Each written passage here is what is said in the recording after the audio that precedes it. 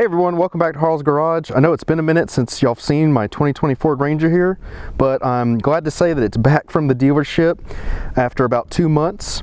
So for those that don't know, I was in, in, in the fall, I had um, noticed that when I was checking the oil levels, basically, I, I noticed that my uh, oil had oil level had not only risen, but it also that the dipstick started to smell like almost like raw raw fuel.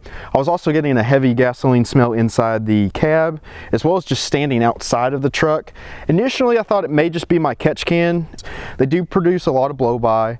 Um, even when I had a catch can on my 392 Charger, every now and then you could smell that blow by smell. It's it's kind of like raw gasoline, but just slightly different. So I was kind of used to that smell when the truck would either sit in the driveway or the garage. It wasn't very alarming, but what did get alarming was that my oil level was rising. Uh, so I initially took it to the dealership. They, since I changed my own oil, they changed the oil for me and they scribed the dipstick where they had the level uh, set. Told me to bring the truck back after several thousand miles. However, after 500 miles, yeah, the oil level had start to started to rise again um, past that top dot that's on the dipstick. So I brought the truck back to them after about 500 miles and they started diving into the truck and, and tried to figure out what, what the issue was. And uh, here's the service slip here. To, here's what they did.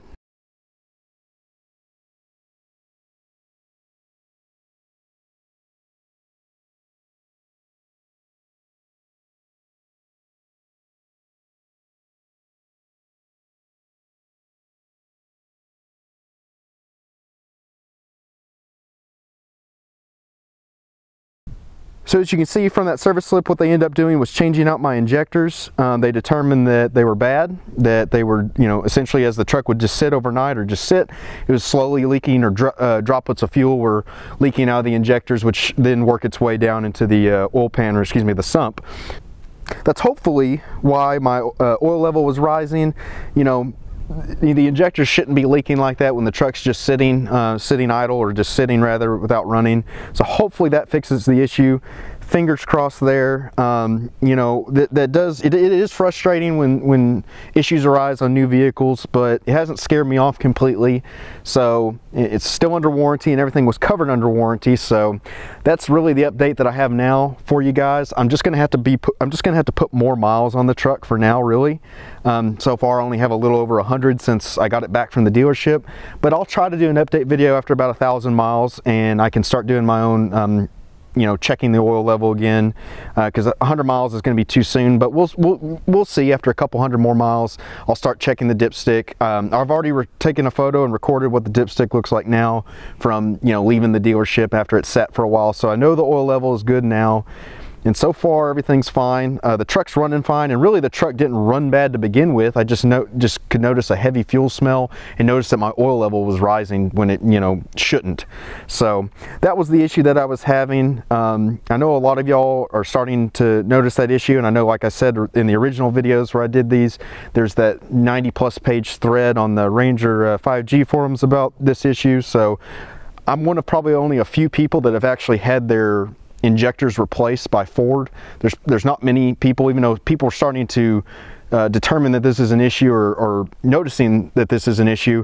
I guess I'm one of the first handful of people that's actually Ford has done something about it, uh, and they did contact Ford engineers about it, so they're they're aware of the issue. As far as like a mass fix or if they're ever going to do like a TSB for it, I don't know. You know, we'll we'll just have to wait and see. I, I mean, I know every single Ranger owner isn't having this issue.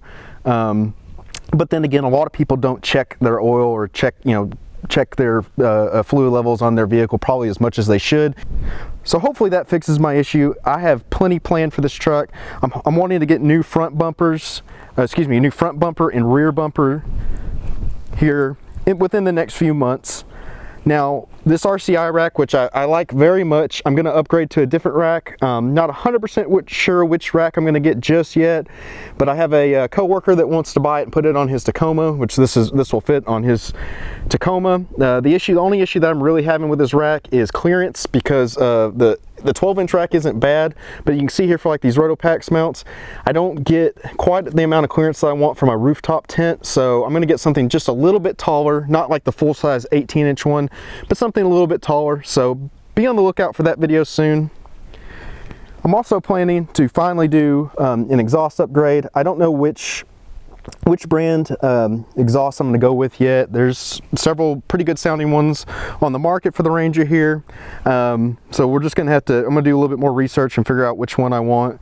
And one of the last things, or last kind of major upgrades that I'll do that I need to get done, um, if you've seen my video before on taking out the rear seat, that was a, a pretty popular video that I've had of mine. Uh, we move the sun visor here. Now you can see I have my rear seat out. Now one of the things I want to do to finish this off was was build a uh, platform for here so I can set more gear back here because that's one of my only gripes about this truck is um, it's very comfortable, rides really well, especially with you know how I've done the suspension with the Fox 2.0s and everything. You just don't get a lot of room in these back seats here for um, you know putting down gear because they don't fold down flat. So that's really the one of the only things I dislike about the truck. Hopefully Hopefully though, everything is fixed um, with my fuel issue. Hopefully these new injectors fix everything. So yeah guys, that was my quick update video. I got a lot planned for the truck. As long as it doesn't have to go back to the dealership for any reason. Uh, I have plenty of videos in the works for you guys. So be sure to subscribe and I'll see you next time.